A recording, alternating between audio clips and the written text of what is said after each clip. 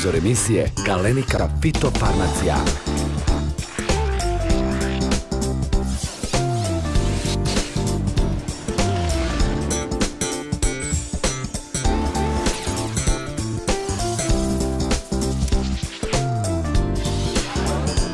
Galenika Fitofarmacija. Pravi put u zaštiti bilja. Poštovani gledalci, dobar dan i dobrodošli u svet poljoprivrede. Tema koja je zakupila pažnju javnosti, baš što se tiče poljoprivrede, u prošloj nedelji sigurno je bila niska cena tovljenika u Srbiji. A do ovoga je došlo zbog velikog uvoza svinskog mesa iz zemalja Zapadne Evrope. Sada se predlažu carinske neke mere koje bi onemogućile dalji uvoz, ali se stručnjaci slažu da do uvoza verovatno dalje neće doći jer je sada konkurentna cena na domaćem tržištu, tako da će se verovatno u perspektivi kupovati svinje sa domaćeg tržišta od domaćih proizvođača. Svi smo svedoci da je do ovakve oscilacije cena dolazilo i ranijih godina i da je to na neki način, možemo slobodno reći, da se odvija u nekim periodičnim ciklusima. Posjetit ću vas da je negde 2004. 5. godine, ako me pamćenje dobro služi, cena se kretala u intervalu od 40 dinara na koliko je bila pala, a kasnije je otišla na 170 dinara po kilogramu žive vage. Da do ovoga ne bi došlo, ne treba kriviti samo uvoznički lobi i uvoznike, nego verovatno treba rešenje potražiti i u načinu subvencionisanja, robnih rezervama, ali i saradnji prerađivača i proizvođača ali to ostaje da vidimo da li će se i desiti u narednom periodu. A mi smo, kao što ste navikli, za današnju emisiju pripremili nekoliko novih, nadamo se, interesantnih poučnih priloga, od kojih izdvajamo sledeće.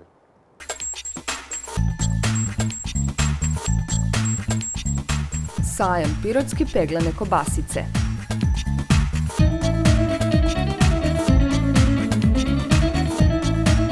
kako poljoprivrednici planiraju prolećnu setvu.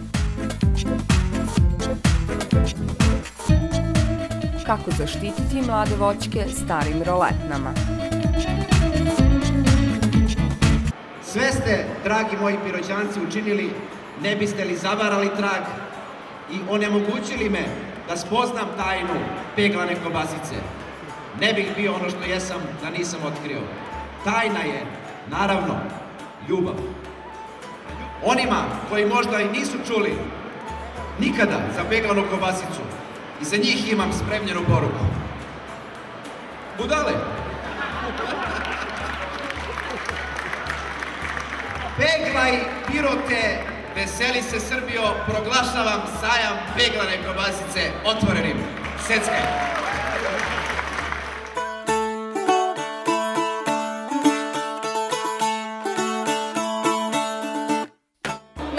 Se u Pirotu na sajmu peglane kobasice koji se ove godine održava 31. januara i 1. februara u ovom gradu. Ukoliko niste mogli ove godine da ga posetite, sigurni smo da ćete doći sledeće, da možete da probate ono što smo mi danas snimili za vas. Peglane kobasice različitih ukusa zbog različitih začina koji se koriste i različitog mesa. Dakle, sledeće godine dođite i probajte sami ono što ćemo vam mi danas prikazati. Pirot je dugo tragao za nekom manifestacijom koji će obeležiti naš grad, kao što mnogi gradovi imaju, na primjer, kao što ima Leskovac, i mislim da smo došli do prave manifestacije, pre svega zbog toga što imamo dobar proizvod. Pre nekoliko godina kada je počela ova manifestacija nismo ni znali, niti smo očekivali da će dobiti ovakav značaj, ovakav publicitet i da će postati međunarodni. Dakle, vi vidite da u ovoj hali trenutno ima možda više Bugara nego nas piroćanaca, ali to je u svakom slučaju veliki potencijal za sve nas. I u promotivnom smislu i u turističkom smislu, naravno i u onom naj, najkorisnijem biznis smislu, jer mnogi proizvođači ne samo peglane kovasice, nego i poljoprivrednih drugih proizvoda, kao što su prerađivači mleka, kao što su ugostitelji, kao što su mali piljari, od ovoga imaju korist. Ne samo ovom, u ovom danu, nego oni uspostavljaju kontakte za buduću saradnju. Čini se da na ovaj način pirotska kobasica zauzima trenutno prvo mesto među neka tri najpoznatija pirotska brenda, poput pirotskog ćilima, kačkavalja i same peglane kobasice. Da, to pre, pre svega zbog toga što imamo dosta proizvođača. E, ništa nije gori, ja bih rekao čak i isti slučaj sa proizvođačem proizvodima, proizvodima od mleka, dakle sirom i kačkavaljom. Ono gde, gde postoji prostor za veliki pomak jeste pirotski ćili. tu smo počeli da gubimo proizvođače, a Pirot je jedan od redkih gradova u Srbiji koji može da se podiči brendovima. Brend je popularna reč, kada kažete koji su brendovi u Srbiji i koliko ih ima, u Pirotu ih ima najviše, osim Kačkavalja, Ćilima, tu je i sad peglana kovaca, dakle da je to naš veliki potencijal koji treba iskoristiti.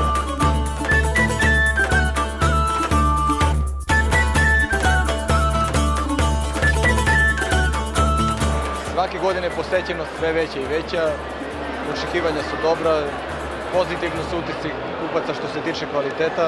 Mi se trudimo da tu recepturu ispoštujemo, pošto otprilike već odredili recepturu koja je dobra, ljudi su to prihvatili. Svake godine se povećava i broj kupaca i količine koje prodajemo. Da li znate ko su vaši kupci? Pa naši kupci su pretežno restorani, prodavnice, do hrane, šaljamo putem interneta, putem brze pošte u Srbiji, ali trenutno na sajmu se najviše broj i susedne bugarske kupace. To je neverovatno koliko broju su došli. A e, što se tiče e, današnjeg dana, šta očekujete? Je li danas e, takmičenje? Pa danas očekujemo takmičenje, nama više rezultati nisu bitni s obzirom da smo osvajali na Novosadskom sajmu u dobitnici tri zlatne medalje, imamo jednu titulu šampiona u kategoriji meso i proizvod od mesa, dobitnici rodne marke na jednu sajmu hrane i pića u Beogradu, tako da ovde još uvijek nismo osvajali prvo mesto, bili smo drugi i treći, ali bože moj, Ima dosta dobrih kobasa. Ja sam napravio krug prošlost tako da su sve dobre i žiri će imati najteži posao. S obzirom da to nije neka merlja veličina, to su ukusi kao i kod vina. Ova godina će im biti baš teška da donesu ovde. Pa, biće, biće, baš teška, ali dobro. A da li vi kao proizvođač vidite e, razliku nakon što je počeo sajam da se održava u Pirotu? Da li se osjeća? Pa vidim, osjeća se naravno svake godine sve više i više. Mi se bavimo ugostiteljstvom 20 godina, mogu da kažem što se tiče toga, situacija u Pirotu je veoma teška i da nam nije peglane kobasice dodatnog proizvoda, pitanje da li bi uopšte opstali kao preduzetnici u Pirotu.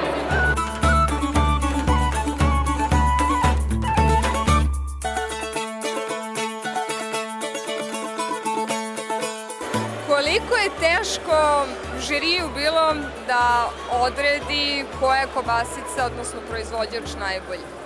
Pa sve su one dobre, svako će probati i videti neko voli ljuto, neko ne voli ljuto, neko voli više belog luka, neko više voli. Dakle, on može da nađe svaku kobasicu. Sve su one dobre i prijatne za nekog kako želi.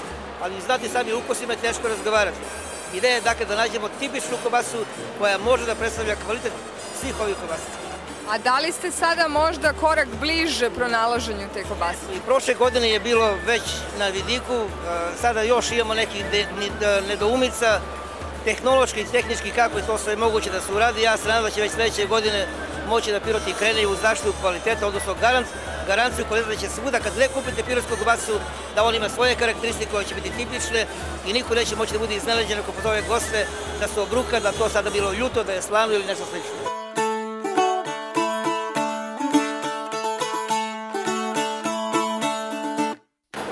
Da imate svog favorita? Pa još ne, tek smo, tek sam, tek smo došli malte ne, tako da nismo nešto ni baš ni probali. Ima tu nekih koji su svake godine onako koji se ističu, ali ima vremena, treba da se proba svuda pa da se ovaj, odredi favorit. Hoćete probati sve? Pa možda i ne baš sve, sve zavisi od ove gužve. Baš je velika gužva, tako da negde treba dugo da se čeka da se priđe uopšte. Da li ste prvi put ovde? Prvi put sam, da. Kako vam se dopada sajam? Mnogo je hubovo, mnogo je dobro. Hvala. Pro, jeste probali kobasice? Da, probao sam. Da li imate neku koja vam se najviše sviđa? Večerac. A je li ima ovako nešto kod vas u Bugarskoj? A, ne. Hoćete kupiti nešto? Da, razbira se. Razbira se. Jeste probali i sir? Ne, сега отиваме да пробвам. Prvi put ste ovde? Da. Da li vam se sviđa? Lepota, lepota, lepota, le. Koje vam se najviše sviđa? А, Дуния ракия. Probali kobasice? Всичко. Всичко до тук, горе-долу всичко. И ракийката, и колбасите, страхотно е.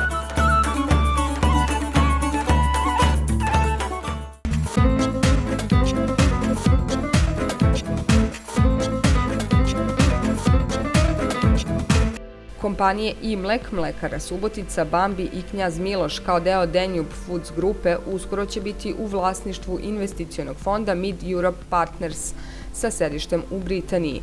Navedeni brendovi prodaju se za 575 miliona evra. Investicioni fond Mid Europe Partners time preuzima monopol nad otkupom mleka u Srbiji. Ministar trgovine Rasim Ljajić smatra da prodaje Danube Foods grupe ne može da izazove poremeće na tržištu.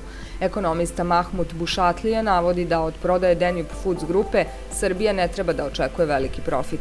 Prodaje je znak da će kompanije nastaviti da radi i da će radnici imati posao, a država ne treba da se nada većem prihodu, osim po osnovu plaćanja poreza, kaže Bušatlija, i dodaje da je i to pod znakom pitanja, jer je moguće da se porez ne plaća u Srbiji ukoliko ta grupacija ima sedište u drugoj državi.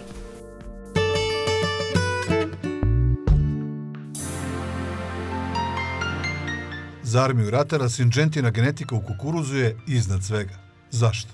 Ove Sinđentine hibride sejem već od 2006. godine.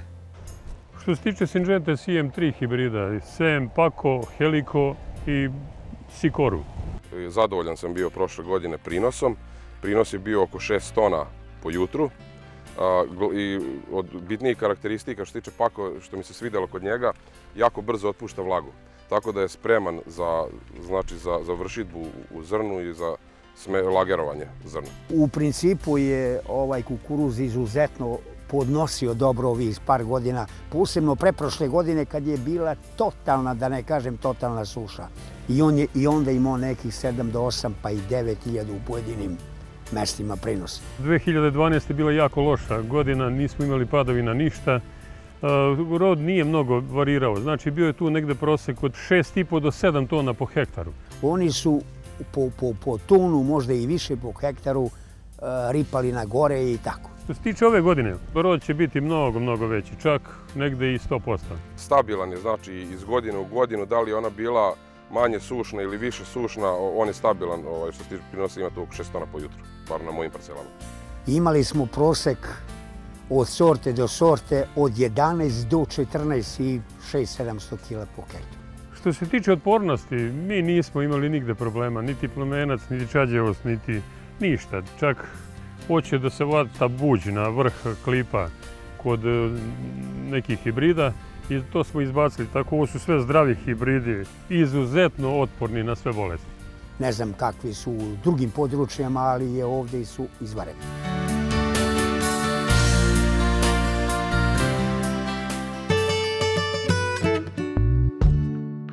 Sada idemo u domaćinstvo Janka Tučana iz Stare Pazove. On obrađuje negde oko 30-40 hektara sobstvene zemlje i to je dobar razlog bio da ga upitamo kako planira prolisnu setvu ove godine. Pa da čujemo.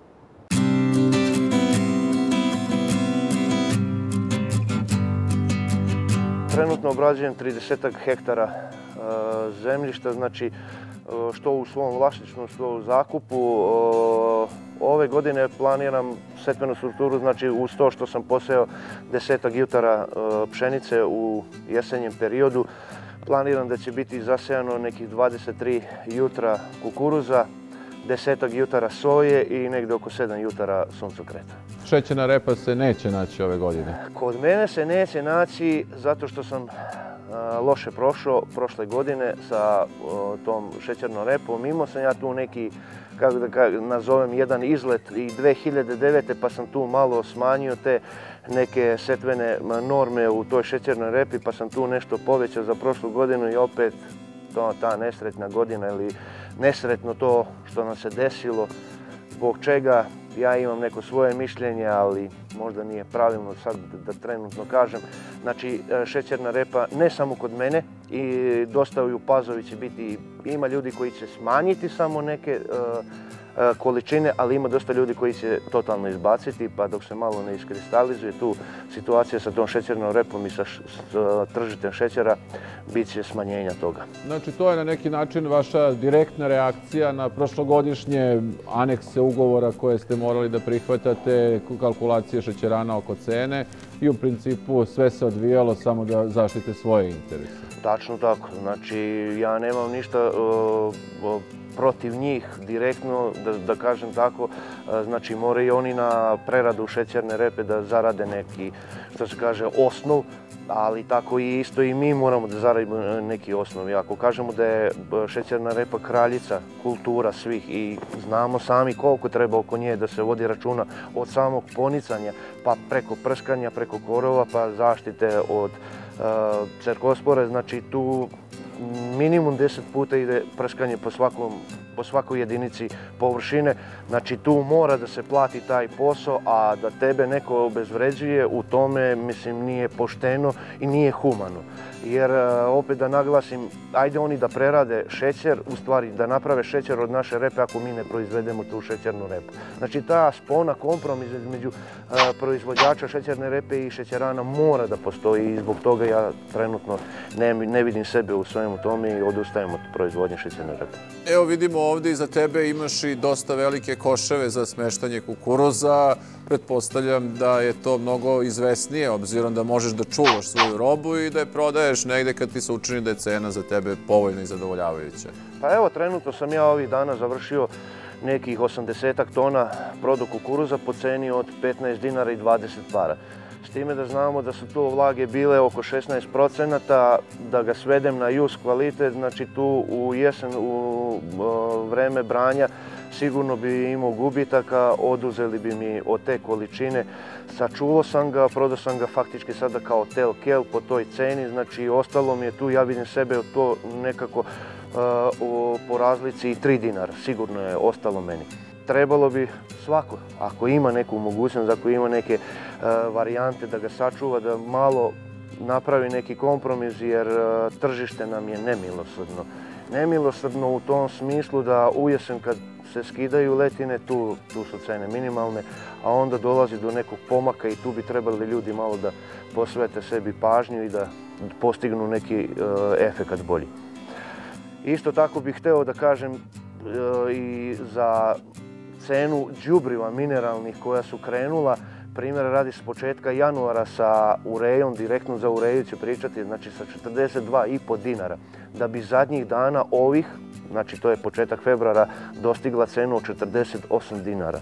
O čemu mi pričamo, ljudi moji? O čemu mi pričamo? Mi ako ne sačuvamo tu neku količinu kukuruza ili pšenice ili soje, to što može da se čuva, suncokret ne može.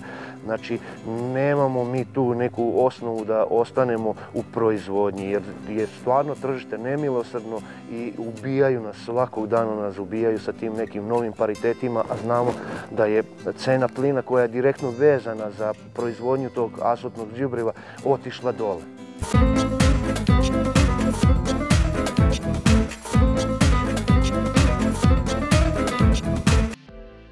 Na kvantašu u Beogradu asortiman voća bio je malo bogatiji u odnosu na prethodni period, pa su se mogle pazariti sveže maline i borovnice iz Italije po ceni od 1300 dinara za kilogram, odnosno 1100 i jagode iz Grčke po ceni od 1150 dinara po kilogramu.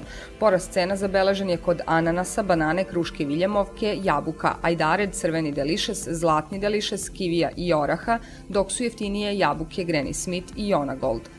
Na zelenoj pijaci u Čačku ponuda sezonskog voća bila je znatno bolja u odnosu na prethodnu sedmicu. Cena jabuke je ostala nepromenjena, Orah se najčešće prodavao po ceni od 1400 dinara za kilogram, a lešnik za 1600. Za pomoranđe je trebalo izdvojiti 80 dinara po kilogramu, a za limun 150 dinara za kilogram. Na tezgama u Vranju došlo je do rasta cene banana, jabuka, mandarina i pomoranđi. Na pijaci u Pančevu bila je dobra ponuda voća, a jeftiniji u odnosu na prethodni period bili su kivi, kruška, limun i pomoranđa.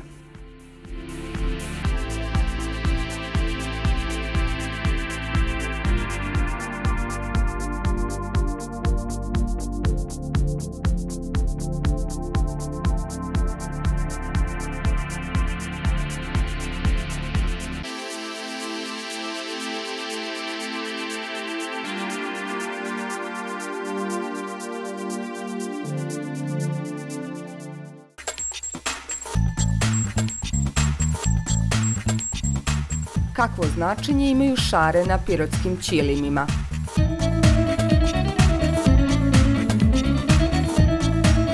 Kretanje cena poljoprivrednih proizvoda.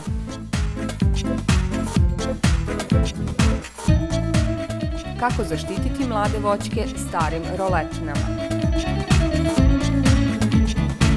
Tokom prethodnog perioda, s obzirom da je bila slavljenička atmosfera, u mnogim domaćinstvima, pored jela, sigurno se dosta i pilo.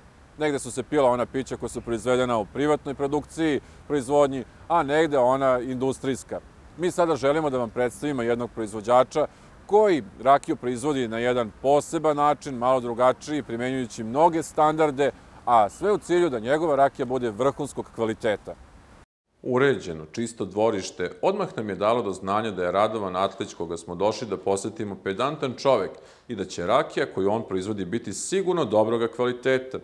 Čim nam je otvorio vrata od podroma u kome trenutno drži burat, naša očekivanja počela su da se ostvaruju. Burat su puna, a ovo je privremeno skladište, s obzirom da ja pravim jedan objekat gde će to imati malo bolji način skladištenja i kontrole. U buradima imate uglavnom šljivovu rakiju. Za sad šljivovu, a osvajao sam i pravio sam i od drugih voćaka kajsija, dunja, kruška i tako dalje. To će u nekoj drugoj fazi biti, kad bude malo neke bolje uslove za rad. Gde ste burad nabavljali? To ste sami pravili nešto? Burad sam kupao građu i strugao, zatim sušio i onda kod dobrog majstora napravio. Je to jedan od preduslova da se da rakija bude kvalitetna? Sigurno. Rakija ne može da bude kvalitetna ukoliko u neodgovarajućim buradima se skladišti i čuva. Znači, mora da bude od hrastovine sa posebnih lokaliteta i koja ima poseban tanin. Nakon pokazivanja Buradi Radova nas je poveo iza kuće gde je sagradio i gotovo potpuno opremio mini fabriku, a imali smo šta da vidimo. Kanal koji vidimo služi za odvođenje džibre u bazen za skladištenje, a odatle dalje cisternom kako se ne bi zagađivala životna sredina. Novi kazani uzidani su, a do njih ostalo je mesta za još dva kada se stvore uslovi. Radovana smo upitali da nam otkrije postupak koji on koristi za pečenje rakije. Pa pečenje rakije počinje u šljivicima prvo, znači u dobrim zasadima, praćenjem njihovim, e, održavanjem, rezanjem, sve što čini proizvodnju voćarstvu. E, sa dobrom i kvalitetnom šljivom može se napravi dobra rakija.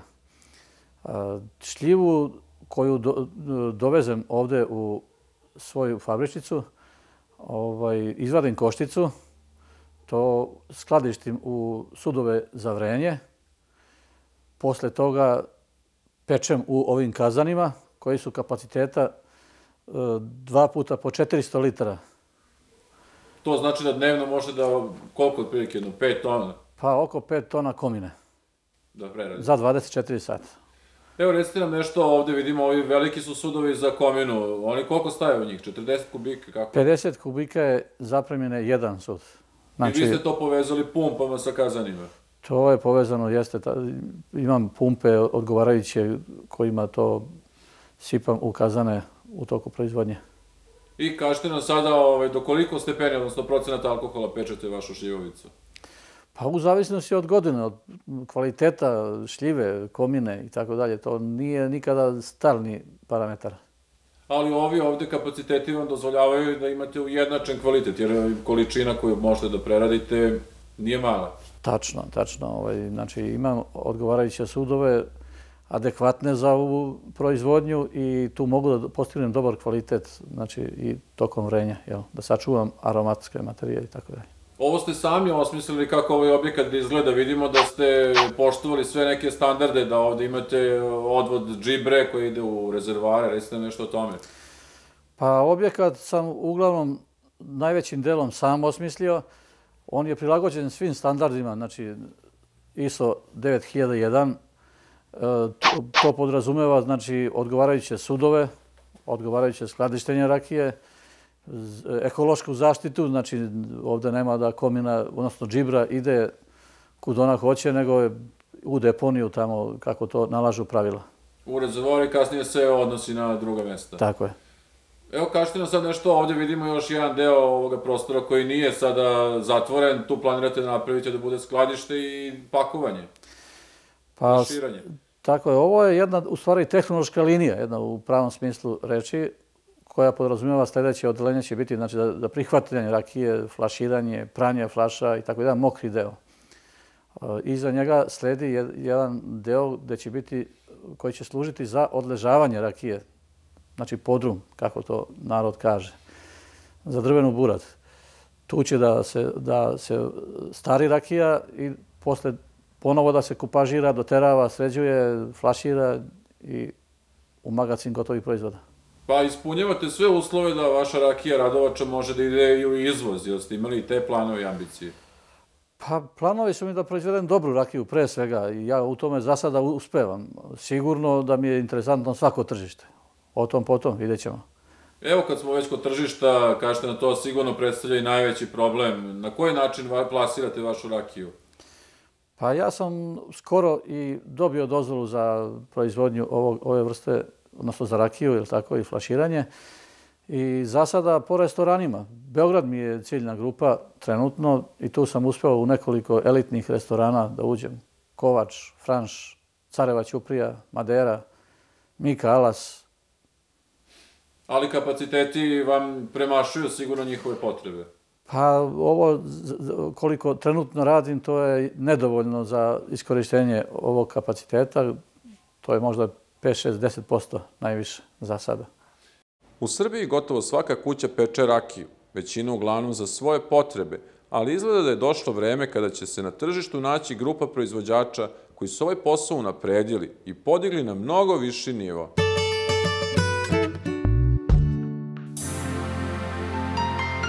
Godine sa malo sunčanih dana, a sa mnogo padavina za proizvođače suncokreta od pamti veka su bile kobne.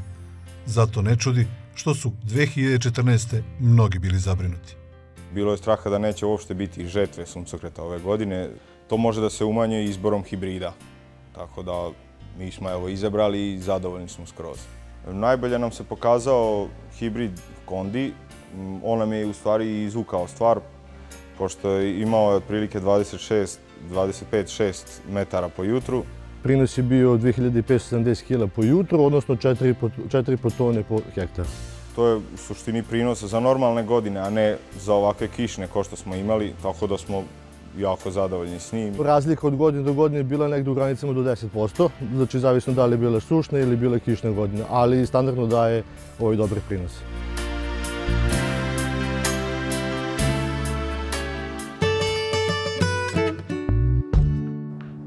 Siguran sam da su mnogi od vas čuli za pirotski ćilim, ali takođe sam mišljenja da mnogi ne znaju šta znače šare koje se nalaze na istom ovom ćilimu. A u narednom prilogu proširit ćete svoja znanja i saznati nešto više o ovoj temi.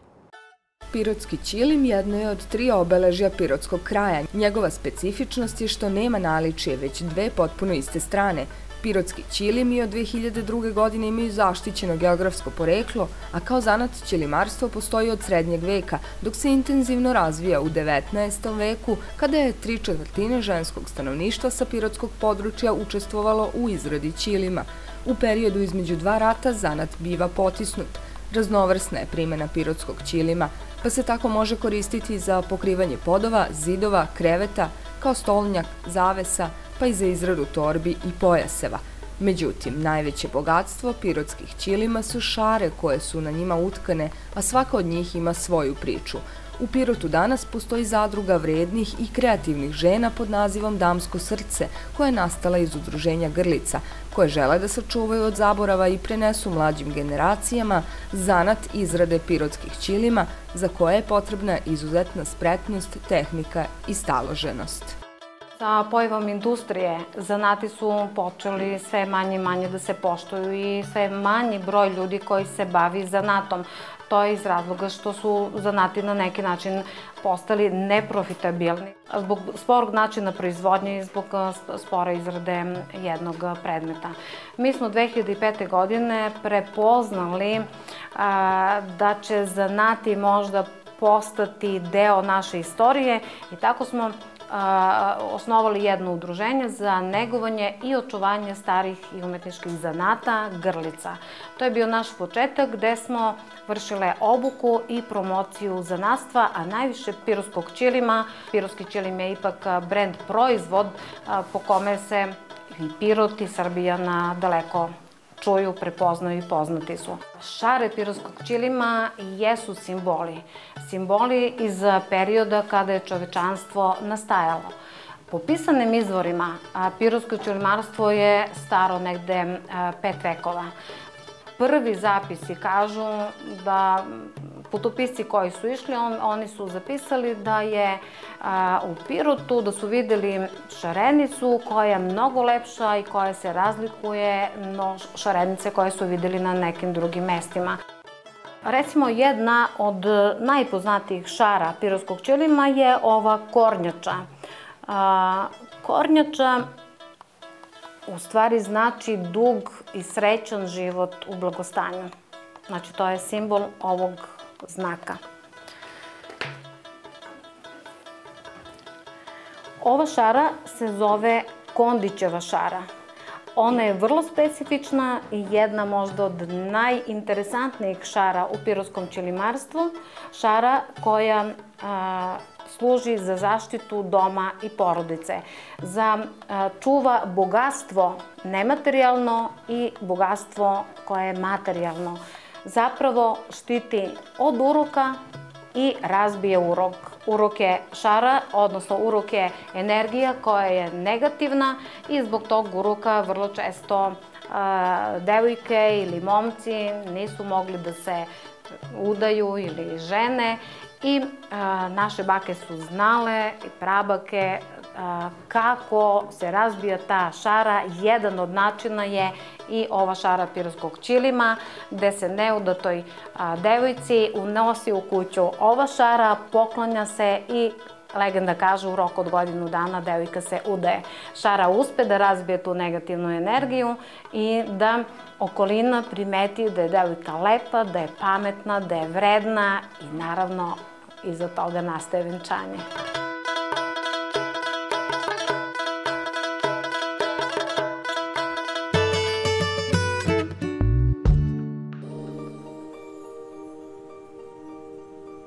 Gastit FAO 530 za žetvu u zrnu ili za čuvanje u klipu. Gastit je visokorodan srednje kasni hibrid. Veoma je otporan na fuzarijum i ostale bolesti, izuzetno je adaptibilan na sušu i uslove stresa. Odlična oplodnja u sušnim uslovima. Visoka otpornost na sušne uslove daje ovom hibridu prinose koji se očekuju od kasnijih grupa zrenja. Ima visok potencijal za prinos i odličan kvalitet zrna. Klip ima 18 do 20 redova zrna u tipu zubana. Pogodan je za gajanje u svim regionima zbog svoje fleksibilnosti dobro podnosi lošiji kvalitet zemljišta. Pogodan je za gajanje na parcelama gde je predusev šećerna repa. Na dobrim zemljištima sa dobrom agrotehnikom daje vrlo visoke prinose. Otporan je na poleganje. Stablo i koren su odlične čvrstoće.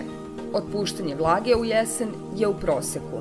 Prosečna vlaga u žetvi u 2014. godini je 19,3 odsto. Prosečna težina 1000 zrna je 340 do 350 grama.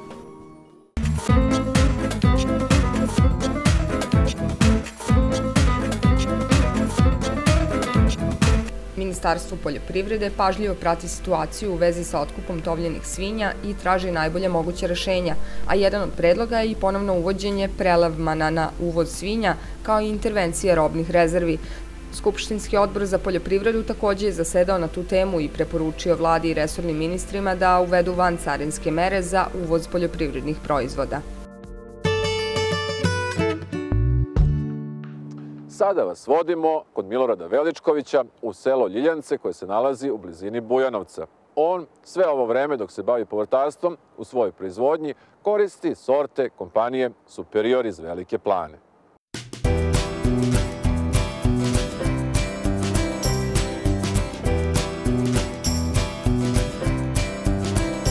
ja proizvodim ovaj tip organske proizvodnje gde bašta nije tretirana nikakvim znači pesticidima.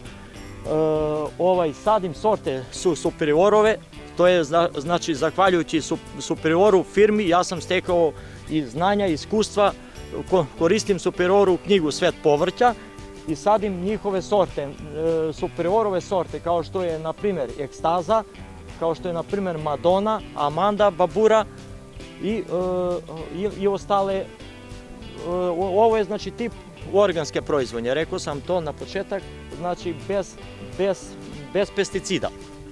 Be, bez ikakvih đubriva. Znači što bi preporučio i, i znači da se proizvodi zdrava hrana, na naša deca jedu zdravu hranu, ne prskano, znači pa onda pratiš karencu, pa koliko dana, znači da je čista zdrava hrana bez pesticida kao što je ova bašta. To je, to je negde površina od 300, 300 kvadratnih metara i tako da da prvi put ovo sada pokušavam, znači bilo je pre, prošle, pretprošle godine većih prinosa i većih e, ovaj, i većih plodova, ali su korišćena znači, sve vrste đubriva. Sada, sada ništa nije korišćeno, sad šta je tu je, znači o, o, ja sam zadovoljan ovom proizvodnjom. I, I sam zadovoljan, na prvom mjestu su periorovim paradajzom i, i hibridima paprike znači amandu, madonu, ekstazu i prodajem ljudima rasad koji sade u ovaj kraj plastenike. Znači ljudi su svi zadovoljni sa mojim rasadom i, im, i imaju izvaredne prinose, čak i bolje prinose nego ja što imam. Mogu da kažem da sam e, na prvom mjestu koristio seme su superiorov koje je zdravo, znači deklarisano, znači i, i kvalitetno i, i, i, da, i, i da nisam imao mnogo, mnogo prskenja, malte uopšte, uopšte nije prskana, znači zdravo seme zdraje, daje zdravi kvalitetan rod. To bi teo da kažem, znači da evo vidi se po bašti da nije da nema biroze, nema bakterioloze, nema obolenja i, i nije prskana, svemu tome mi je pomoglo superioro seme, znači zdravo seme. Na pijaci sve se proda lako, Znači, sala koću mogu da kažem se proda, dok ja ne prodam svoje paprike, ne može e, drugi da prodaju. Znači, cena je povoljna, ove godine naročito sam zadovoljan cenom i znači to bi bilo e, sve e, kvalitet na prvom mestu. Znači, prave paprike, ekstaze, prave, prave babura, prava babura Amanda, znači prava Madona. Evo sad još te imam potražnju, je počela za Turšiju, za, mislim, za spremanje zimnice i to. Dobro, i proizvodite i nišku šipku, rekli da, ste. Da, jeste, to imamo I kako ste zadovoljni prinosom super, niške šipke? Super, niška šipka je izvaredna. Prinosom čak je bolja nego strani holandski hibridi.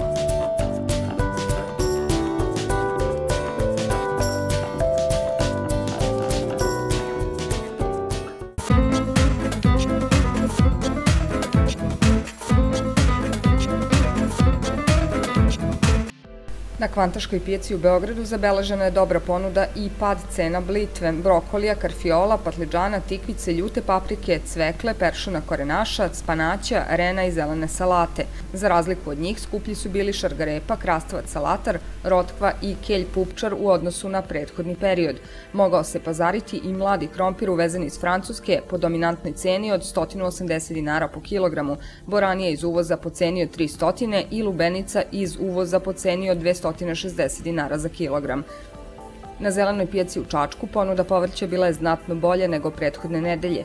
U prodaji je bilo i spanaća po ceni od 150, dok je veza rotkvice koštala 30 dinara. U toku protekle nedelje na zelenoj pijaci u Vranju došlo je do pada cene celera, belog, crnog i mladog luka, paškanata, pasulja, praziluka i rotkvica. Za razliku od njih skuplji su bili cvekla i krastavac salatar. Na pijačnim tezgama Pančeva bila je dobra ponuda povrća. Rast cena zabeležen je kod kupusa i tikvica, a jeftiniji su u odnosu na prethodni period bili karfiol, zelen i zelena salata.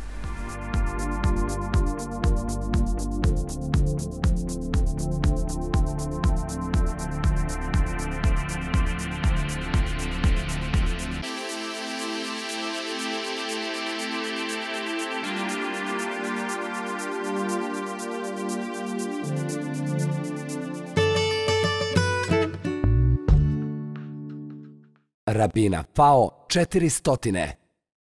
Srednje rani hibrid, poznat po stabilnom i visokom prinosu zrna, stablo srednje visine oko 265 cm i niže pozicioniranim klipom oko 115 cm. Kod ovog hibrida klip formira od 18 do 20 redova. Zrno je u tipu žutog zubana, vrlo krupno i teško. Klip je dugačak oko 23 cm, Karakterističan je valjkast oblik klipa sa završetkom koji ukazuje na vrlo brzo otpuštanje vlage.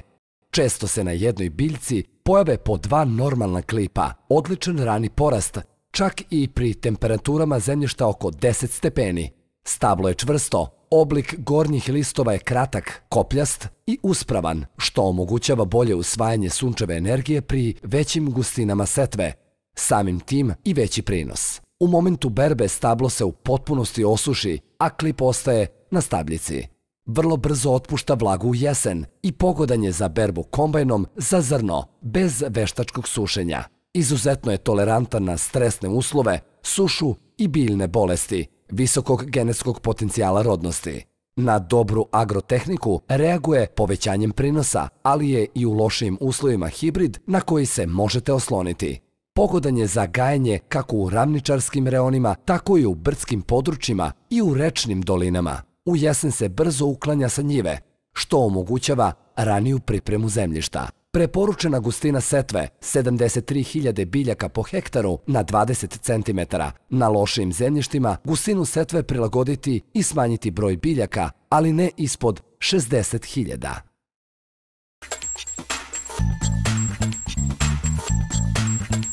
Kakvo nas vreme očekuje u narednih 7 dana? Kretanje cena poljoprivrednih proizvoda – Da pogledamo sada i kako su se kretale cene najvažnijih poljoprivrednih proizvoda dokom protekle nedelje u našoj zemlji.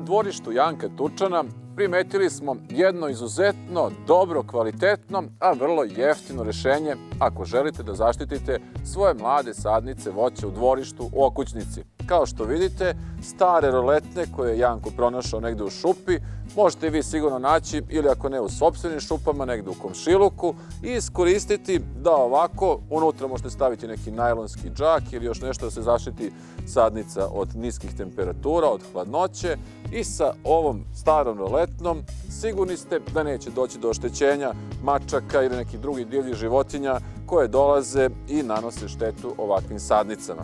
Evo, ovo jedno zgodno rešenje nije samo praktično, nego je i estetski prihvatljivo.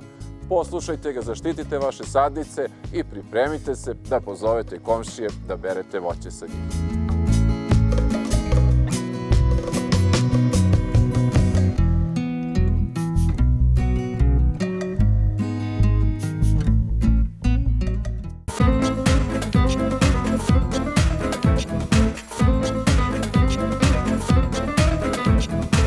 Tokom januara telad cimentalske rase telesne mase do 160 kg mogla su se najčešće kupiti po dominantnoj ceni od 400 dinara za kilogram, mada je iznos varirao između 340 i 480 dinara po kilogramu.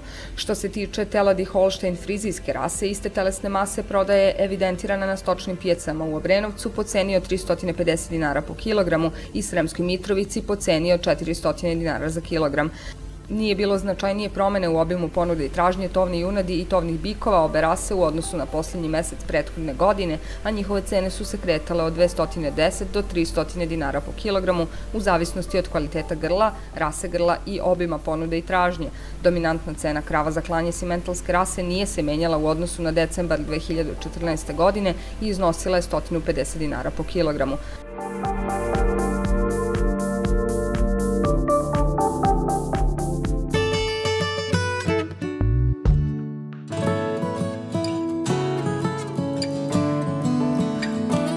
Svake godine kukuruz se proizvodi na zaista značajnim površinama i o važnosti njegove proizvodnje nema potrebe posebno govoriti.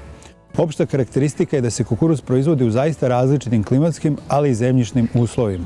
Ako se tome doda i različit nivo agrotehnike kod proizvođača, onda je jasno zašto se kod izbora hibrida na prvom mestu mora govoriti o kvalitetu selekcije i hibrida koji će biti posejani. Kada je u pitanju hibrid Kermes, mora se reći da se on tržištu nametnuo upravo kvalitetom. To podrazumeva da ispunjava sve uslove upravo za setvu u svim uslovima, jer je zaista visoko adaptibilan, a uvek postiže rekordne prinose. Izrazito brzo i ujednačeno niče, ima odličan rani porast i zaista brzo dolazi do faze metličanja i oplodnje. Biljke su robustne sa snažnim stablom koje ne poleže. Listovi su snažni, široki i uspravni i tamno su zelene boje. Izrazito snažan koren je jedan od razloga visoke tolerancije na sušne uslove. Ono po čemu je kermes prepozatljiv su klipovi koji su krupni, teški, sa puno redova, često 20 ili 22, pa čak i 24.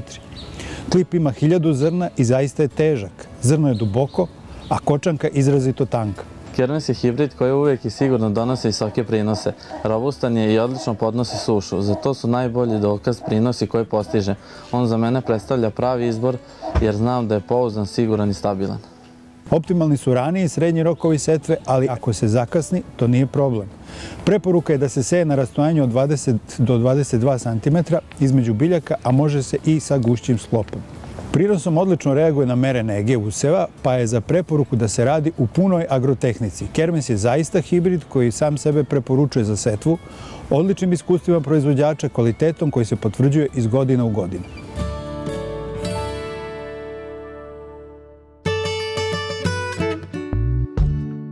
A sada da pogledamo i čime se sve trgovalo, ali i po kojim cenama, kako na produktnoj berzi u Novom Sadu, tako i najpoznatijim svetskim berzama.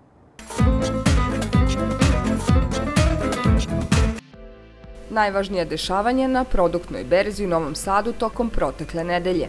Pad cena kukuruza, rast cena pšenice, dešavanja na svetskim berzama. Na produktnoj berzi u Novom Sadu cena kukuruza je u blagom padu. Od početnih 15,50 dinara po kilogramu bez PDV-a sa početka nedelje kukuruz se krajem nedelje kotirao na poziciji od 15,20 dinara po kilogramu.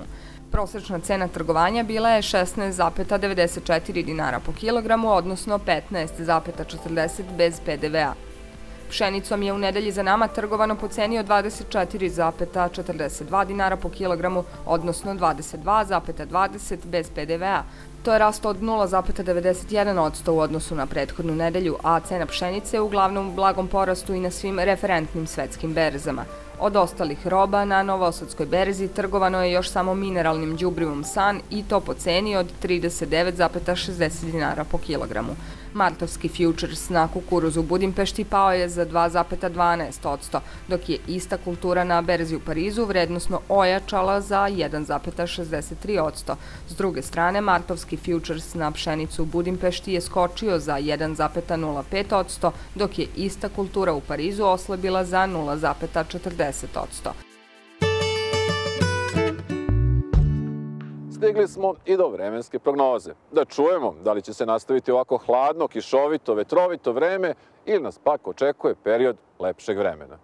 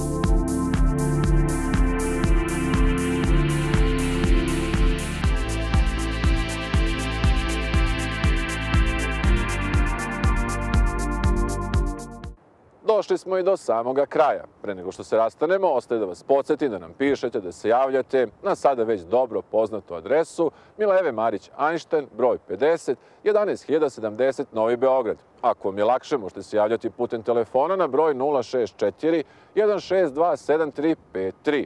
A ako ste propustili nešto iz sadržaja današnje ili nekih naših ranijih emisija, to možete pogledati putem naše web adrese www.agromedia.rs. Gledajte nas ponovo za sedam dana kada pripremamo nove i nadamo se interesantne i zanimljive priloge. A do tada, doviđenja i prijatno!